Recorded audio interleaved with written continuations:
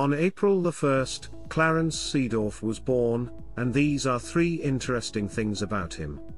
At 3, for many young viewers, who didn't know, and maybe it is not spoken about enough, he is the only player who has won the Champions League, with three different teams. Ajax in 1995, Real Madrid in 1998, AC Milan in 2003, and also in 2007. There have been players who have may won it four or five times or more but bringing the mentality and quality to another team is something which is most inspiring which would be very valuable in sport especially moving country and adapting to situations. At 2 he has his own stadium, in Suriname his native country which he was born in, furthermore, this was a gift to Suriname, the community where he hails from.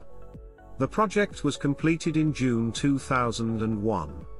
Finally, did you know, at the end of the 1998-99 season, Madrid and Juventus wanted to swap Clarence for Zinedine Zidane, but the deal did not go through and the French playmaker waited two more years before joining Real Madrid. So who knows, what if Clarence Seedorf went to Juventus, would they have won the Champions League, especially in 2003 at Old Trafford had he been wearing black and white.